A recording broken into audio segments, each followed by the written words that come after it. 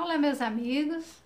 Que bom estamos juntos novamente para mais uma leitura comentada do livro Cirurgia Moral pelo Espírito Lancelin. Hoje vamos fazer a leitura do capítulo 26. Não inventes problemas. Inventar problemas é não querer partilhar da paz de Deus. Há criaturas que, mesmo sem os tais, começam a imaginar embaraços para a sua própria vida, a fim de atrair atenções de compaixão para a sua situação calamitosa, esquecendo-se de que compaixão sem ação não cura os males nascidos da ignorância. Então, veja que ele fala aqui que há pessoas que, mesmo não tendo problemas, elas criam, criam embaraços, criam situações para né, a própria vida, para atrair a atenção. Então, nós temos um problema aí, sim. Né? É, a pessoa tem uma necessidade, ela tem uma carência, ela quer ganhos com, com esse tipo de situação. Ela quer ganhar atenção. Geralmente, né, na, no trabalho da psicologia, a gente se depara com o que a gente chama de ganho secundário.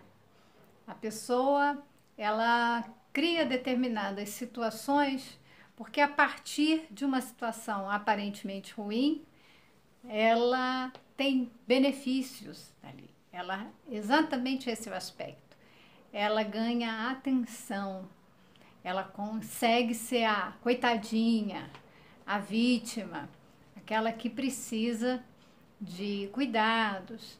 Então é um lugar muito perigoso que a gente pode dizer, porque nos fragiliza. A gente lembra que a gente cria aquilo que a gente vive, que a gente pensa, que a gente coloca foco, energia. E se a gente está querendo chamar atenção por essas vias, eu vou colocar aqui uma questão importante. Nos dias de hoje, a gente tem discutido na educação dos pais para os filhos, né? É educação de pais mesmo que eu estou falando, né? É trabalhar com os pais pensando a educação dos filhos. O que, que a gente discute com esses pais? Para que eles fiquem atentos, porque muitas vezes a criança entende que o mau comportamento é a forma de chamar a atenção dos pais. E os pais, o que, que acontece? A criança faz uma coisa, chama, pede o carinho, pede para o pai e para a mãe brincarem, pede para. É, enfim, cuidar deles, dar atenção para eles, mas não é só de cuidado com a alimentação, cuidado com a higiene, a, é, cuidados materiais que a criança precisa. A criança precisa de cuidados no campo emocional, no psiquismo. Ela precisa de alimentos para desenvolvimento psicológico, emocional, afetivo. Então, ela vai chamar atenção para isso, ela vai querer a atenção dos pais para brincar, para conversar, para poder se relacionar com esses pais. Muitas vezes o que, que acontece? Os pais estão ocupados demais para oferecer esse tempo, é estar disponíveis para os filhos. E qual é a resposta muitas vezes dos filhos? É ficarem irritados, frustrados. Eles não têm aquilo que eles querem. E como os adultos também ficam frustrados, ficam às vezes magoados, ficam irritados, porque não têm aquilo que querem. Isso acontece com as crianças e elas manifestam da forma como elas conseguem. Como que elas fazem? Chorando ou gritando. Ou se tem um irmãozinho, vai lá implica com o irmão, com a irmã, ou vai lá, puxa o rabo do cachorro. Enfim, criança pode pegar, é, fazer uma brincadeira e sujar o ambiente, rabiscar na parede. Ela vai fazer alguma coisa que de fato ela vai perceber que fazendo isso ela tem atenção. Veja que ela criou uma situação desagradável e ela percebe que toda vez que ela faz algo desse gênero, ela tem a atenção dos pais. Então, é um caminho muito ruim para conseguir a atenção dos pais. E adultos muito imaturos utilizam desse mesmo recurso. Eles são carentes, eles querem afeto, eles querem o relacionamento, e se eles não provocam uma situação, eles também, como as crianças, fazem a birra. A gente acha que birra é só com criança, adulto também faz birra para chamar a atenção. Veja que ele fala que são situações né, que, é,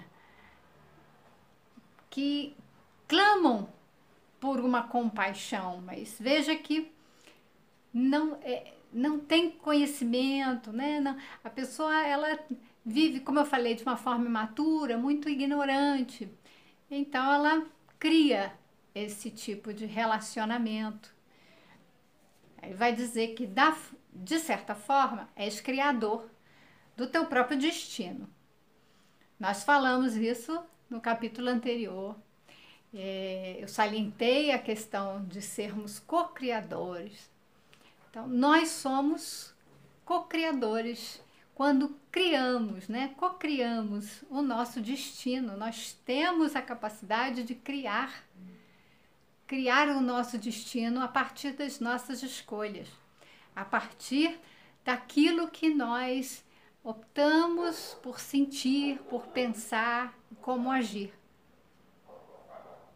Se deres abertura à tua imaginação em sentido contrário das leis espirituais, sofrerás as consequências dos teus atos impensados e o remédio para esses males está na tua decisão de modificar o teu modo de ser.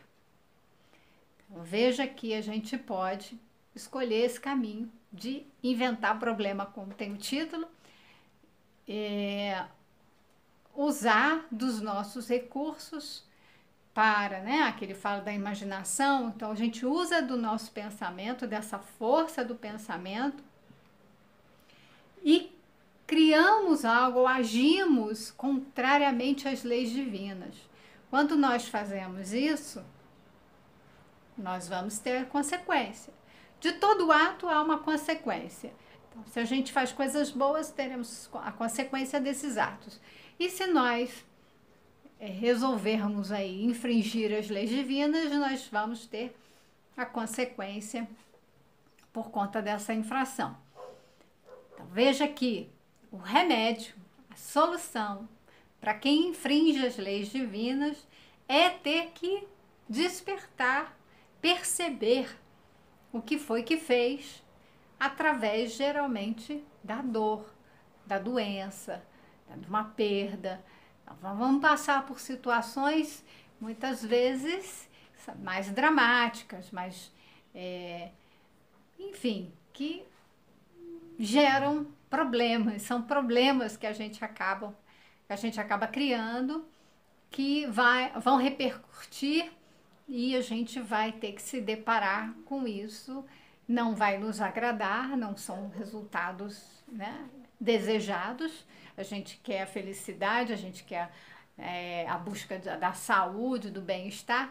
A gente vai encontrar o oposto disso, porque nós, ao infringirmos as leis divinas, nós é, desarmonizamos. Nós, a, as leis divinas, elas criam ordem, harmonia no universo. Se nós não respeitamos essas leis, lei de amor, a lei de justiça, então, se nós praticamos atos é, de ferir, humilhar, de corromper, né? abusamos de determinados recursos, das, até dos nossos recursos pessoais, as nossas energias, nos alimentamos mal, nós vamos ter consequência disso. Então veja que isso retorna para que a gente perceba o que a gente fez. E aí teremos a oportunidade de corrigir. Aquele que tem prazer de soltar a imaginação em busca de fantasias perigosas, verá que tais fantasias poderão materializar-se como inimigos terríveis, exigindo do seu Criador promessas feitas pelos sentimentos. Então, também é esse caminho da uso da imaginação, ou seja, do nosso pensamento, em busca de fantasias que são perigosas. O que, que a gente pode imaginar dessas fantasias? Elas vão se materializar como inimigos. Inimigos vão, pensa bem, é, questões da sexualidade, é, questões de, de abuso no uso de drogas, né? isso se materializa como transtornos, inclusive, transtornos mentais, é, doenças no corpo físico. É um inimigo que a gente pode chamar, além do que a gente pode se associar com espíritos inferiores que estão nessa frequência de pensamento. É, procura limpar da tua mente a ideação negativa a gente já vem falando disso. Buscar fazer essa limpeza mental daqueles pensamentos negativos, fantasiosos, ligados a ilusões no campo material, dos prazeres. É, estuda tuas fraquezas.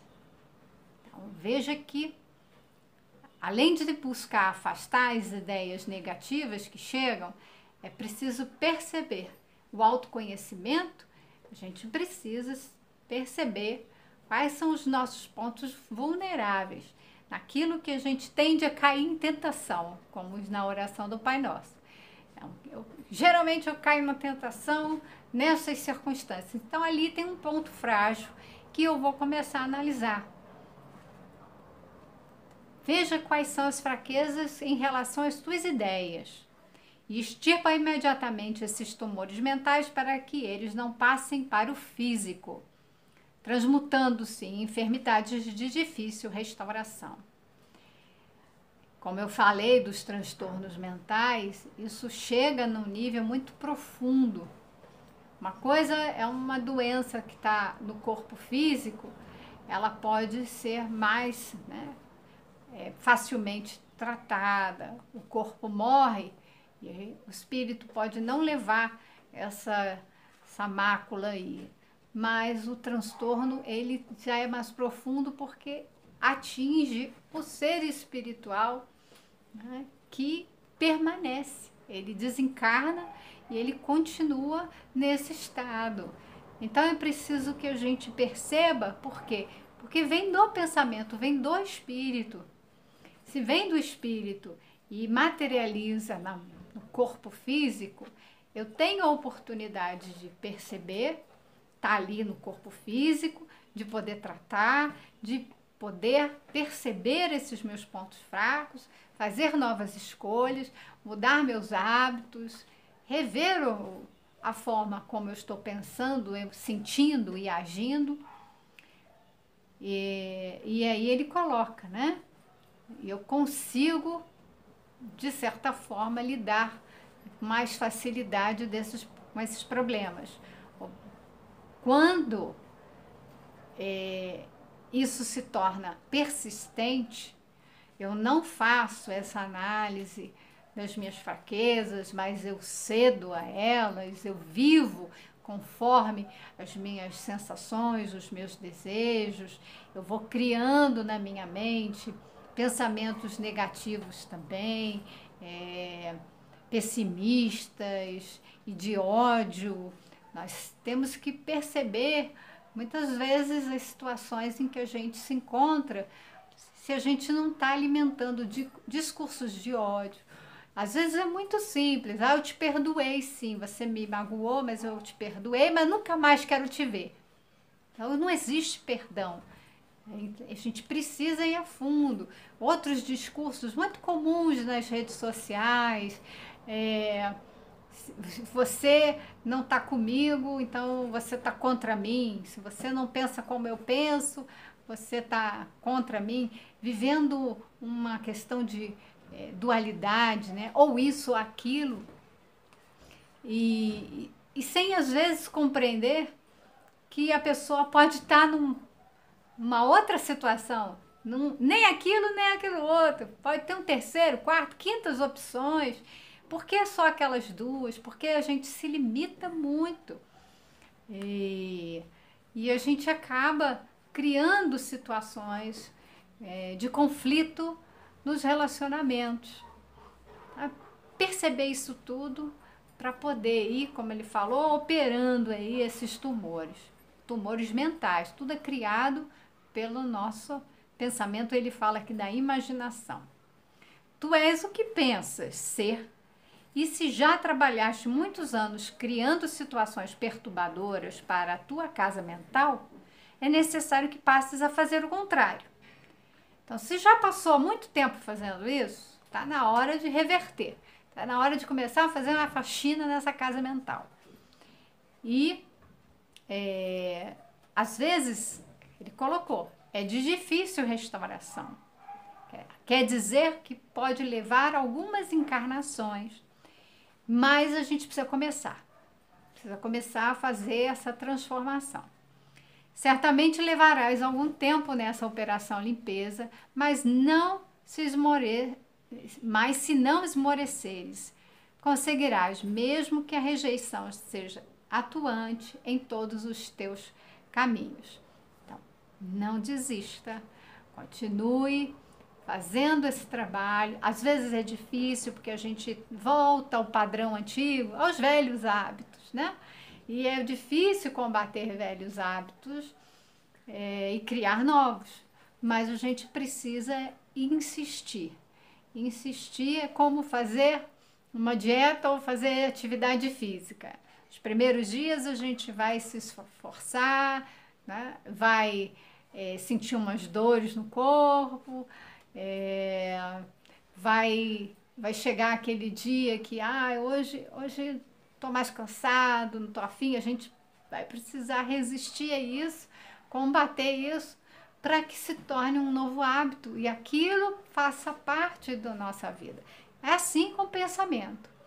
Vem um pensamento, hoje mesmo, me veio um pensamentozinho daquele, eu comecei a, a chorar, comecei a pensar em, em algumas coisas, depois eu parei, respirei fundo e comecei a pensar de modo diferente. Né? O que, que estava me fazendo me conduzir para aqueles pensamentos que estavam ali me colocando em dúvidas, me, me entristecendo. E eu comecei a fazer outras reflexões, né? outras indagações e já me reergui. Então, no momento que isso acontece, e vai acontecer na nossa vida, é um momento para a gente acender a luzinha vermelha e falar: opa, tá, toca aquele pensamento de novo. Tá vindo aquela pontadinha ali de, de dúvida, de tristeza, de medo, de raiva. Vou dar uma pausa. O que está acontecendo aqui? E, né, o que, que eu estou pensando? Pensa sobre o seu pensamento. Que sentimento está me vindo? Ah, esse daqui. É isso que eu quero para mim? Não, não é. Então eu vou, nesse momento, buscar fazer uma limpeza.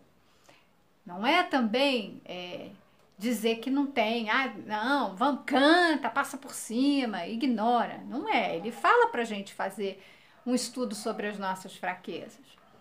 Isso bateu profundo em mim por alguma razão. Porque é, eu estou me sentindo frustrada ou estou me sentindo cansada. Ah, porque eu gostaria que meu desejo fosse realizado. Puxa, mas o que Deus está reservando para mim? Com certeza o que Deus reserva para mim é muito melhor do que eu desejo para mim.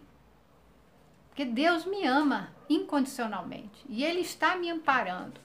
Então, nesse momento, eu fui ouvir umas mensagens justamente falando disso. Né?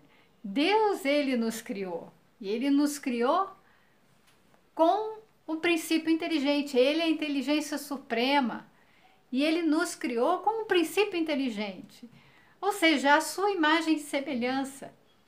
Ele quer que a gente cresça, né? evolua e esteja numa condição de estar cocriando junto a Ele, de estar próximo com Ele. Então, Ele quer, acima de tudo, por amor a cada um dos seus filhos, a toda a sua criação, Ele quer o nosso bem.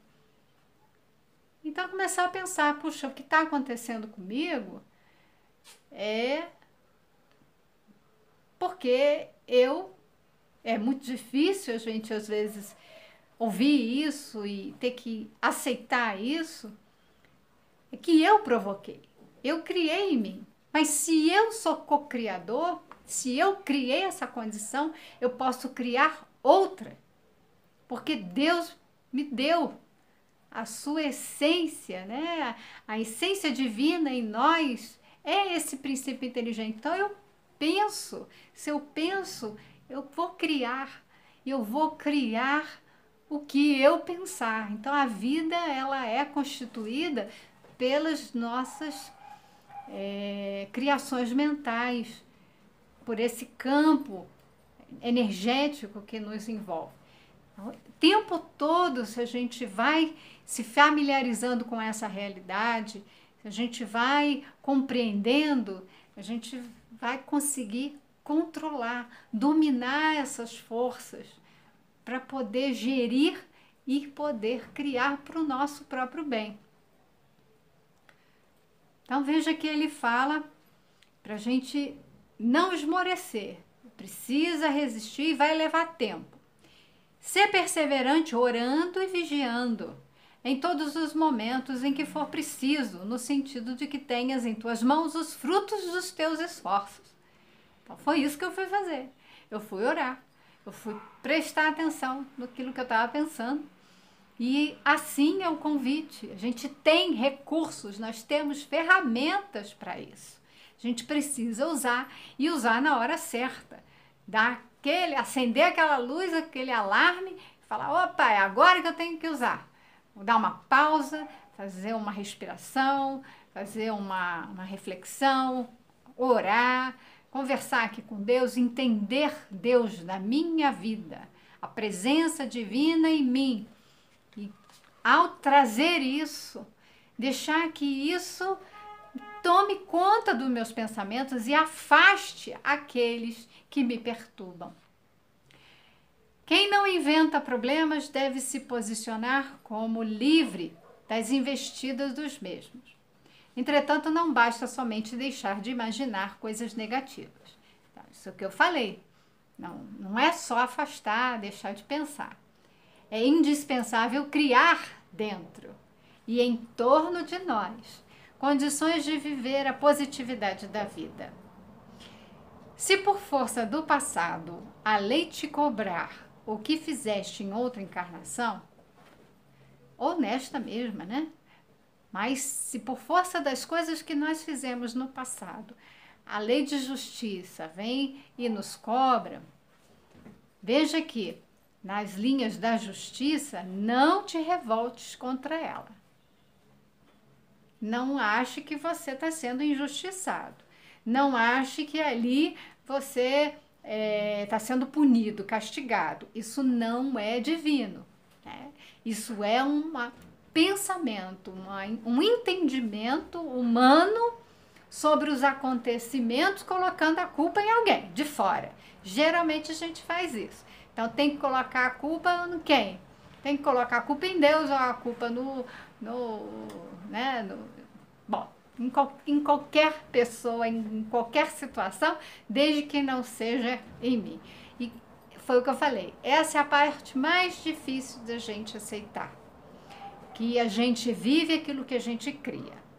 Então, se a gente está vivendo situações difíceis, se não tem explicação nessa vida, os espíritos já nos ensinaram. Está numa vida, né, numa encarnação passada. Cede às evidências e respeita o programa evolutivo através do teu proceder, como aquele que ama até a própria dor, estudando e entendendo as lições que o peso da cruz será aliviado, de modo a entranhares a melhora e sentires a bondade de Deus em teus caminhos. tenha convicção de que Deus te ama, Ele é Pai amoroso, Ele é justo, mas misericordioso.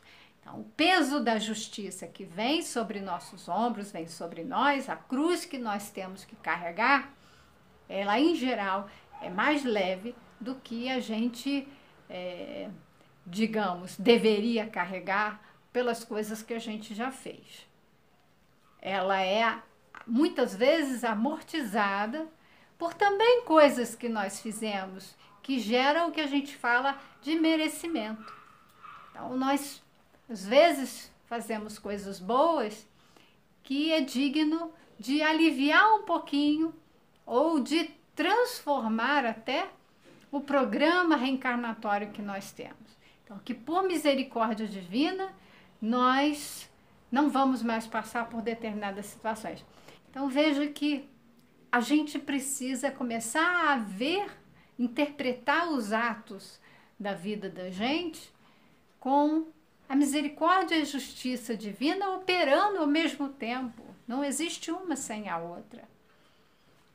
E que nós somos responsáveis por tudo que nos acomete, porque nós estamos criando ali o nosso destino. Então é bom estudar, é bom estudar tanto, por exemplo, a doutrina espírita, mas estudar a nós próprios, nos conhecermos. A obediência é força imensa a nos ajudar em todos os nossos transes difíceis. A tua imaginação deve ser aproveitada, aproveitada para a tua felicidade. Fala da obediência. Né? A gente tem regras, nós temos leis, nós temos as leis divinas. Se a gente se pauta mais do que as regras, nos princípios que estão por trás das regras. Porque as regras elas podem ser questionadas, elas podem ser alteradas. Isso faz parte da, da evolução e a gente fala que isso é uma flexibilidade. A flexibilidade é importante para que a gente possa ajustando, né? ir ajustando ali o que, que é útil e o que não é. Então veja que as leis humanas de tempos em tempos elas sofrem mudanças, porque a sociedade muda, né? As pessoas são espíritos em evolução, elas mudam, elas precisam mudar e a gente precisa mudar para melhor. Então, criar leis muito mais é, é, que gerem mais benefícios para toda a humanidade, né? Um, leis que conservem a vida no planeta. Então, leis que dizem respeito às nossas relações com as pessoas, mas também com a natureza, com os animais, né? Então a gente precisa, nesse, os recursos, né? Recursos como a, a, a água, recursos minerais, o próprio ar, a gente precisa cuidar disso tudo. Então regular a forma como que a gente está é, vivendo nesse planeta para que ele seja né? para que seja uma vida sustentável. Veja que a obediência a determinadas regras, mais do que regras, como eu falei, os princípios que estão embasando essas regras, é que vão nos dar esse caminho do bem-estar, da felicidade. Os pensamentos movem-se gastando energias divinas existentes em abundância no grande suprimento. Entre mentes responderás pela tua cota, se gastares em desacordo com as diretrizes da lei. Veja que ele coloca que o pensamento é essa energia. e nós vamos gastar essa energia que é divina. Né? Tudo foi criação divina. Então, nós estamos usando de um campo energético, né? É, esse campo eletromagnético, isso tudo é criação divina, mas que nós estamos usando, porque somos seres criados por Deus, como eu falei, com um princípio inteligente. Mas nós vamos responder pela cota, pela, não, pelo uso que fizermos dessas reservas. Como eu falei das reservas materiais no nosso planeta, nós vamos também fazer, é, ter que prestar contas do uso dessas reservas divinas. E como nosso planeta também é criação de Deus, no final das contas a gente vai prestar contas de tudo para Deus. Né? Ele é o grande Pai, ele é o grande Criador e a justiça se dá através da lei, lei divina que regula todo o universo. Se todas as manhãs, ao acordares, a melancolia estiver aflorada em tua mente, com tendência a passar para a tua palavra, luta com ela também, todos os dias, e expulsa do teu convívio, pois este estado negativo poderá transformar-se em variadas modalidades de sofrimento, capazes de te levarem ao desespero. Então, é preciso travar essa luta interior essa luta interior porque se dá no pensamento, por vezes por influências de outros espíritos, né, que estamos ali é, num processo às vezes obsessivo. Tal. É preciso identificar esses pensamentos. Ou são nossos, ou ainda que sejam sugestões de outros espíritos, de qualquer forma, é preciso travar essa luta interior para remodelar e transformar. És um soldado e a tua mente um campo de batalha. Tu deves ser o vencedor. Não, não estranhe os opositores. Ele sempre aparece ante aqueles que desejam estabelecer harmonia no mundo interno e saúde nos corpos. Crie, evita criar problemas e estarás edificando a tua própria felicidade. Quando junto aos companheiros, não facilites ambientes propícios ao surgimento de problemas, pois mãos invisíveis estarão te ajudando neste abençoado labor de espargir luzes por onde os teus passos deixarem as marcas do bem. Veja que não estamos sozinhos, nós temos um amparo espiritual, temos que fazer esse trabalho interior, ele é nosso, ele é de cada um. Não há como alguém fazer por nós. Nós podemos nos beneficiar dos recursos, por exemplo, de meditação, meditação guiada, se a gente tem dificuldade para concentrar, a gente vai, escuta o que, que o outro está falando, sugerindo e seguir ali fazendo aquele exercício mental. Isso é um bom treino até que a gente se torne de fato é, habituado a, a, a, perceber e a cuidar, cuidar dos nossos próprios pensamentos. Que com isso a gente vai edificando um, um clima mais feliz, mais ameno, mais equilibrado, em nós em torno de nós, como ele fala que a gente possa fazer essa reflexão no dia de hoje e até o nosso próximo encontro.